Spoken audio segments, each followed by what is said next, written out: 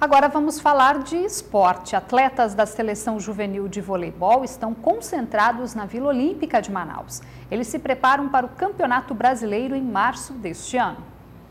São seis horas de treino por dia. A seleção juvenil amazonense de vôlei está concentrada na Vila Olímpica de Manaus. A ideia é manter o foco no Campeonato Brasileiro, que será entre os dias 10 e 16 de março, em São Paulo. Na chave do Amazonas estão Minas Gerais, Mato Grosso e Pernambuco.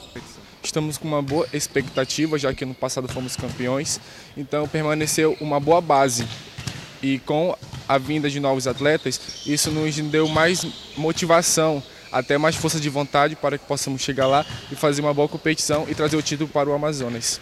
Este ano, o voleibol foi presenteado. Foi a primeira modalidade de esporte coletivo a ser incluída no programa do Centro de Alto Rendimento de Manaus. Para o técnico da equipe, a melhor infraestrutura deve influenciar na performance dos atletas já no brasileiro. A mudança foi muito grande, né? A gente está tendo a oportunidade de, de ter um local para treinar, de ter material, de ter toda uma estrutura por trás.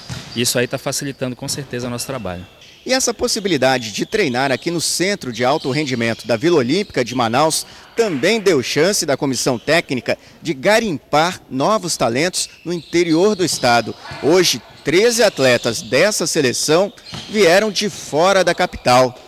Com quase 2 metros de altura, Adriano Patrick é um dos destaques da equipe. Ele veio de Manacapuru e agora só pensa em brilhar nas quadras paulistas para, quem sabe, seguir carreira no voleibol. É uma experiência única que nós teremos na vida, como para mim é meu último ano na seleção juvenil e terei, tentarei me desempenhar o máximo possível para corresponder a todos aqui, tentar ajudar o, o time de uma forma positiva. O campeonato vai marcar a volta do Amazonas à primeira divisão do voleibol juvenil. Para Anderson, que foi campeão paulista pelo Santos no ano passado e se recupera de contusão, o brasileiro será vitrine para essa geração do vôlei amazonense. Isso acho que proporciona para o currículo de um atleta é a melhor coisa que existe porque dá um nível muito alto de jogo.